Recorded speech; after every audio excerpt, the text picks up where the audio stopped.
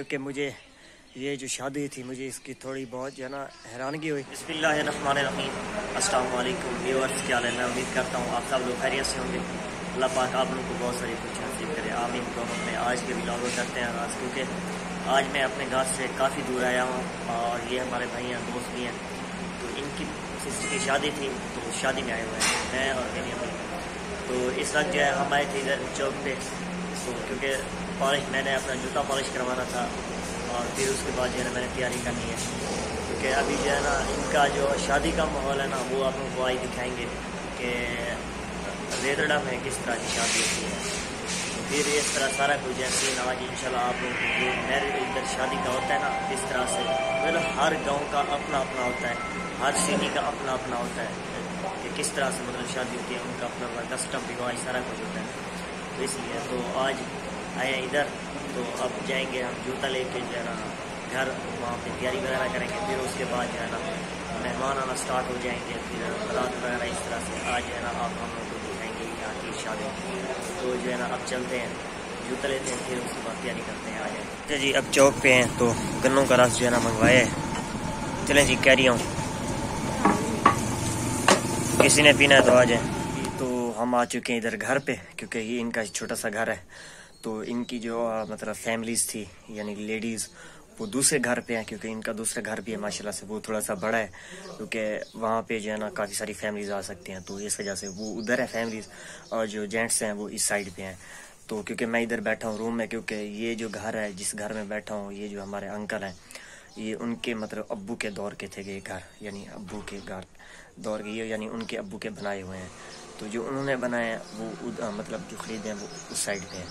तो माशाल्लाह से क्योंकि ये देखें कि इंसान मेहनत से जब कोई शख्स मेहनत करता है ना अल्लाह पाक उसकी मेहनत को रायगा नहीं करता क्योंकि ये जो अंकल हैं जो मेरे साथ भाई थे इनके अबू जो है ना एज आ जो बिरयानी वगैरह की जो है ना एक छोटी सी जो है ना रेडी वगैरह लगाते हैं। जिसकी वजह से जो है ना उन्होंने तो मतलब बहुत सारा उन्होंने कहा, मैंने अपना वक्त देखा है, किस तरह से मुश्किल आई बट मैं जो है ना उन मुश्किल के सामने डटा रहा। तो अल्लाह पाक ने उनको मतलब बहुत कुछ दिया है। तो अब भी जो है ना वही रेडी वगैरह लगाते हैं। तो अब मेहमान आए हुए हैं काफ़ी सारे। तो मैं इधर, अंदर आया हूँ और बाकी जो है ना गेस्ट उधर बैठे हैं, दूसरे रूम में। तो मैं आप लोगों को दिखाता हूँ इनका घर और इनका कल्चर, कैसे शादी होती है, सारा कुछ। क्योंकि हमारे गाँव की शादी थोड़ी सी डिफरेंट होती है, क्योंकि जब दूल्हा वगैरह मुझे इधर मैं आया ना तो अंकल कह रहे थे कि जब दूल्हा वगैरह जो है ना, आएगा इधर तो वो यहीं से, यहीं पे ही रेडी होगा, सारा कुछ, कपड़े वगैरह यहीं पर चेंज करेगा। बट हमारी तरफ़ ये नहीं होता। दूल्हा जस्ट आता है, उधर वो डायरेक्ट घर से तैयारी करके सारा कुछ मतलब दुल्हन को लेके घर ये सारा कुछ जो है ना, आज आप लोगों को ये सीन दिखाएँगे हम, क्योंकि अभी मैंने रेडी होना है, कपड़े चेंज करने हैं। तो अब फ्रेश होते हैं, फिर उसके बाद जो भी सीन होगा, वो दिखाएँगे। अच्छा जी, ये तो हो गया फाइनल क्योंकि कुछ लोग जो ना, इधर बैठेंगे तो कुछ इस घर में ये पुराना घर है ना इनका। अब चलते हैं, क्योंकि तैयारी करते हैं टाइम हो गया ना।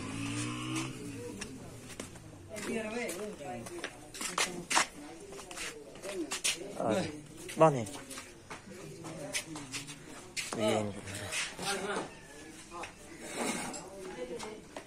तो ये अंकल का जो है ना एक छोटा सा बक्कस वगैरह है जिसमें उनका सामान वगैरह पड़ा रहता है यानी शीशा कंगी तेल लोशन वगैरह शैम्पू और ये परफ्यूम। मैंने यहीं से जो है ना लिया है। तो अब मैं जा रहा हूँ बाहर क्योंकि बारात आ चुकी है। तो अभी जो है ना मेरी लुक देखें कैसा मैं लग रहा हूँ। तो अलहमदिल्ला से फाइनली मैंने तैयारी कर ली है। अब या बाहर जो है आवाज़ सुन सकते हैं।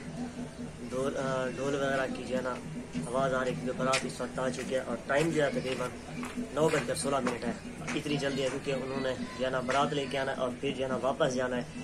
क्योंकि वहाँ पर जो है ना खाना वगैरह यानी वलीमे का जो भी फ़ंक्शन था वो बाद में जाके चलाएँगे। तो आप लोग चलते हैं, दिखाते हैं। तो ये है इनकी बारात वगैरह। बस इतनी से हैं लोग जस्ट और बाकी फैमिली जो है ना उस घर में उधर है।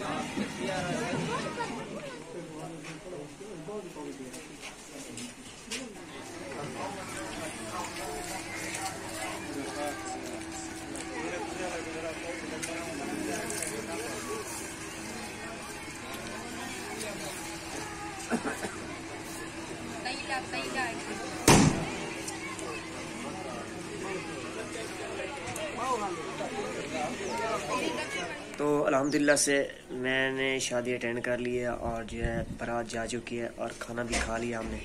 और अब जो है ना हमारी घर की तैयारी हो चुकी है क्योंकि कल रात से हम इधर आ गए थे और जो है इस वक्त तकरीबन टाइम हो रहा है, तकरीबन एक बज रहे हैं और उसके बाद जो है ना हम जाएँगे घर।